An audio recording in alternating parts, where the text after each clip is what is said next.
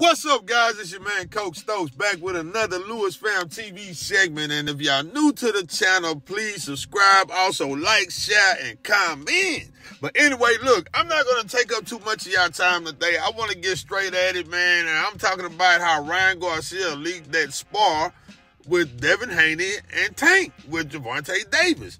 Now, look here. I'm going to tell y'all like this. I don't know what Ryan Garcia thought he was going to gain from that, but look here, we all know what happened in sparring sessions don't happen in the ring. Or it could possibly happen in the ring, but most of the time, look, I've, I've heard of a lot of people getting hurt while they were sparring. But then they get in the ring and they show different and, and they undefeated or whatever the case may be. So at the end, they no doubt. I'm gonna tell y'all straight up, man. Tank was rocking that boy Devin Haney. Hey, pause. hey, he was he was giving it pause again, giving it to him. But at the same time, look, at the end of the day, what would happen if they were in the ring on fight night? That's a different story because then, hey, all bets off at that point, and then you got to get it in. Facts.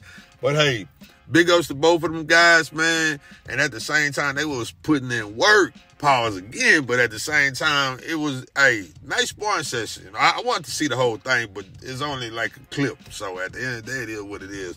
But anyway, it's your boy Coach Stokes back with another Lewis Fam TV segment. I'm on the move, and if y'all new to the channel, please subscribe, like I said in the beginning, and don't forget to hit the like and share. I'm out. Peace.